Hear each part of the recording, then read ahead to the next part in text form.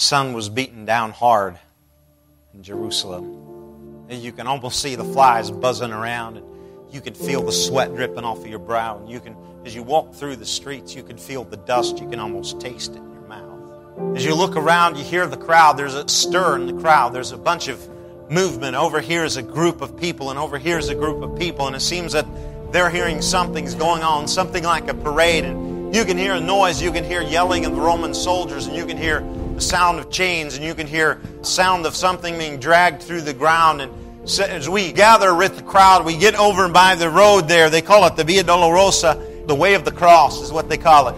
And they get over by that road and they, they stand there. Everyone, we congregate together as we watch three men with soldiers around them. The two guys in the front cursing and stammering and s- struggling with the crosses that they're carrying. And then in the back, we see one that's beaten almost beyond recognition. We see the blood streaming down his uh, body and dripping off into the dust.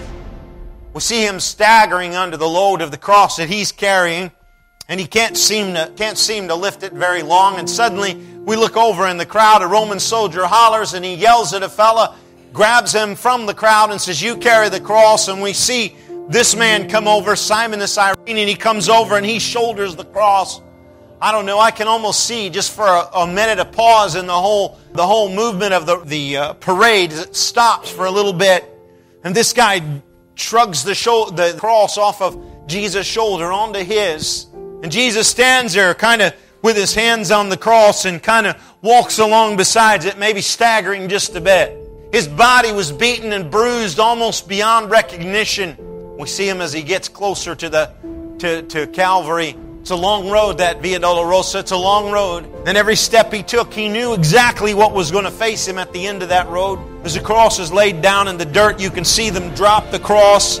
The dust rises up, and they take Jesus and completely without ceremony, without carefulness, they throw his body already broken and bruised onto the cross and they take the nails and they put the nails through the palms of his hands and they, they hammer them in and you can hear the sound of the Roman soldier's hammer as it goes through the flesh and crunches in and besides the bones it doesn't break the bones and you can you can see the pain and the flinching of the fingers as Jesus' body lays there struggling and the raw muscles in his back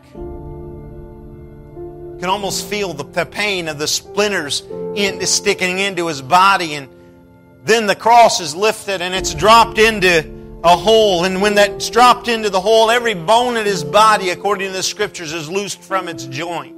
He can't even he can't even lift himself up and try to get oxygen. They tell us that crucifixion is death by asphyxiation more than by shed blood because they would um, try to lift their feet up and try to grab the air and try to keep it, but as they'd hang down, the airwaves would be cut off. But his feet were nailed to the cross, so he couldn't lift up at all, and he's trying desperately to get air. People walk by and mock him and spit on him. The angels in heaven pause. The entire universe stopped in its tracks and watched. Can you imagine the silence that was in heaven as horror swept through the ranks of the angel bodies, realizing that that human form of God, that representation of God, was being abused by his creation, whom he was dying for.